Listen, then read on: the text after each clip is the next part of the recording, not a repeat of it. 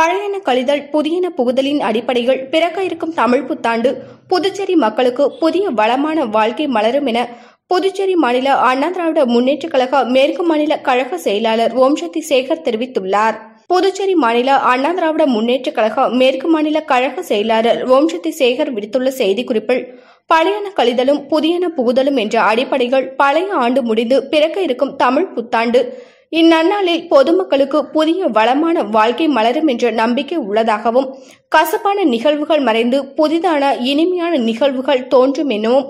மாநிலத்தின் வளமை பெருகும் எனவும் மக்கள் வாழ்க்கை மட்டுமல்லாமல் மக்களுக்கான அரசு புத்தாண்டு வரும் தேர்தல் வழங்குவதாகவும் தெரிவித்தார். மேலும் புதிய நம்பிக்கைகளும் எதிர்கால கனவுகளும் எண்ணங்களும் தமிழ் புத்தாண்டில் மலரும் என்று மாநில மக்கள் அனைவருக்கும் இனிய தமிழ் புத்தாண்டு வாழ்த்துக்களை தெரிவிப்பதாக அண்ணா திராவிட முன்னேற்றக் கழக மேற்கு மாநில கழக செயலாளர் வம்சதி சேகர் தெரிவித்துள்ளார்.